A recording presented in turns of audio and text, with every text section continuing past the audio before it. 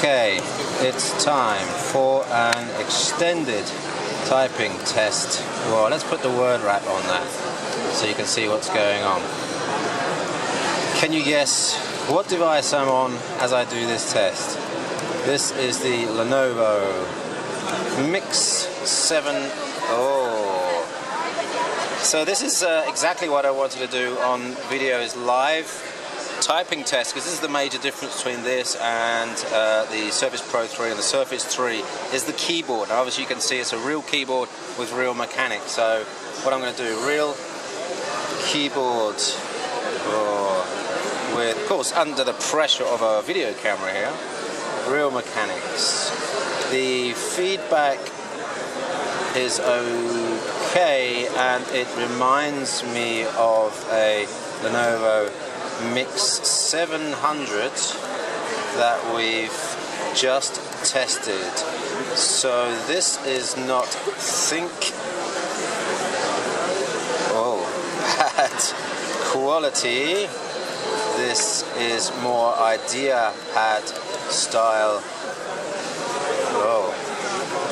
The uh, touchpad, by the way, nice smooth uh, finish and actually very, very smooth. The only thing I don't like about the touchpad is the left and right mouse button clicks there are a little bit heavy. You're going to have to go for tap to click on that.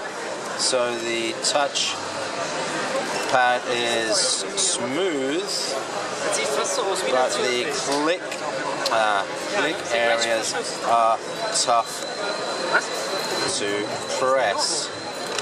So how, yeah, so it feels better than the uh, touch type keyboard. There's there's the same bounce on it. There's the same bounce on the keyboard. You can feel that sort of bouncy feedback. If any of you use the uh, touch type keyboard, you know that sort of bouncy feedback. You just feel it vibrating as you touch it. What you have to do is just flip it down into that mode to get rid of that bounce. And in fact, in this mode, in keep in. Why is the return button not working? There it is. In this. Sorry, sorry, I'm filming. Careful. In this mode, um, the keyboard is solid and feels pretty good. That's really tough to be typing here. There's a lot of people around and the um, stress of trying to do it in front of a camera is also holding me up. But I'd say now I'm using a Surface Pro 3 Type 3, sorry, a Type cover keyboard all the time. This is better. This is better than the Type the Type cover keyboard. Um, the question is, does it come in the price? And how much weight does it add to the device? It doesn't feel like it's much heavier than the type, type cover keyboard. This is maybe 250 grams with the type cover is, I don't know how much, but it's less than this. Um, the click on the keypad, very hard, not so easy, but it's a very smooth um, touchpad there and actually quite, quite like that. So that is a, a, closer look at the keyboard on the IdeaPad Miix 700. This is not ThinkPad, this is definitely IdeaPad when you look at the keyboard. No backlight, and of course it's a USB powered keyboard, so this is not one you can take apart and use remotely, as on, for example, the uh, Lenovo Yoga Tab, the Windows one, one which had a Bluetooth keyboard um, or the Acer Aspire Switch 12 which had that removable keyboard. But actually pretty good. One more thing, I just want to have a look at this uh, hinge here. Now I've been using the Surface Pro 3 for exactly one year now and I had worries about the hinge but the Surface Pro 3 hinge has been absolutely solid. But there's a little play in the Surface Pro 3 hinge. This has no play in it at all. This is a lot more solid than the Pro 3 hinge. The question is, will this stand the test of time? Will this watch band hinge stand the test of time? It's a nicer click on it actually than the Surface Pro 3 as well. And it goes all the way back there.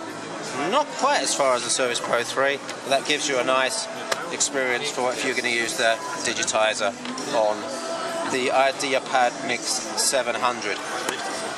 Just one more thing about the key before I close off this video the uh, marketing block here states that it comes with a bundled Bluetooth keyboard. This keyboard is not a Bluetooth keyboard. It makes me wonder whether they're actually going to ship this device with a cheaper, separate Bluetooth keyboard and not this type cover style keyboard. That would be a surprise, but maybe something that could keep the price down. I'm not sure if I'd like a Bluetooth keyboard with this. I think I prefer the type cover keyboard. So we're going to ask some questions around here at the Lenovo booth here at IFA, if we can find the answers. We did. We just spoke to one of the, the PMs, product managers, about this because of the statement about this being including a, key, a Bluetooth keyboard, which made us question whether this is actually the keyboard that's going to ship with the 700.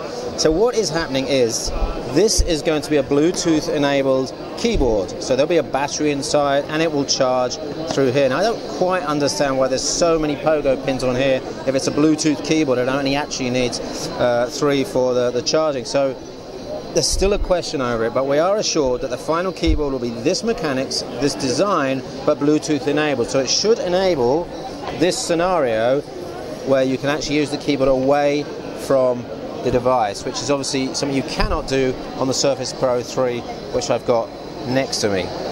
One final thing, and uh, it's difficult to say this with 100% certainty, but Lenovo tell me when I ask them whether this is their design or whether this is Microsoft's design, and whether this is their design or whether this is Microsoft's design, Lenovo tell me they make hardware, Microsoft makes software.